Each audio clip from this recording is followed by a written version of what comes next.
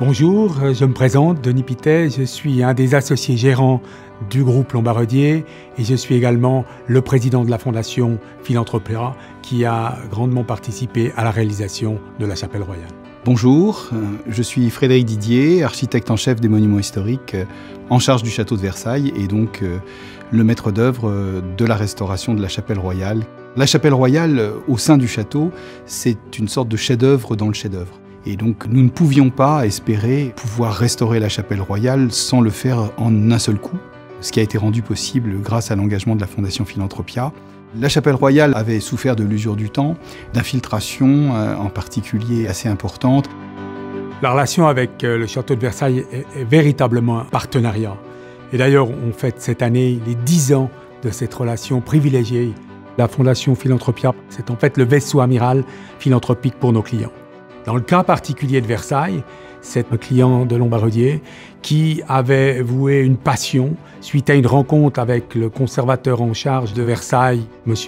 Van der Kemp, dans les années 80. C'était notre mission de pouvoir accompagner euh, sa passion. On a commencé par une rénovation importante qui était le bassin de la Tonne. C'est probablement cette relation-là qui nous a motivés, encouragés à poursuivre avec le château de Versailles. Donc après une année d'études, on s'est lancé dans ce projet qui a duré quatre ans. C'est un édifice qui n'a pratiquement pas été modifié depuis sa construction.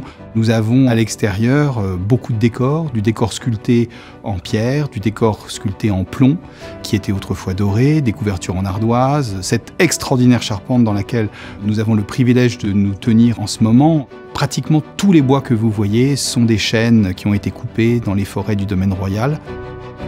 Nous voulions, dans le cadre du château de Versailles, renforcer encore, si besoin, cette importance de l'apprenti. La charte tient peut-être à, nos origines suisses. Dans le cadre de la chapelle royale, c'était un ordre de 10 à 15 apprentis différents qui ont pu œuvrer.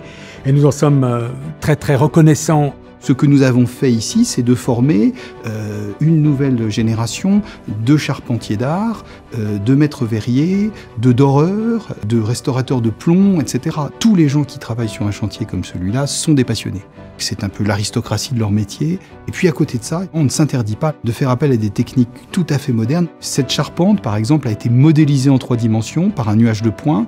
Si elle disparaissait demain, nous pourrions pratiquement la refaire à l'identique. Donc vous voyez que on est capable de mettre la science et les avancées technologiques au service du patrimoine. Le recyclage des matériaux également est quelque chose de très important sur, sur nos chantiers. On n'a pas jeté ici un bout de plomb, on l'a recyclé. Il est très important de rénover des bâtiments historiques, non seulement euh, en qualité de mémoire euh, pour l'histoire, mais également en termes d'impact sur un environnement local.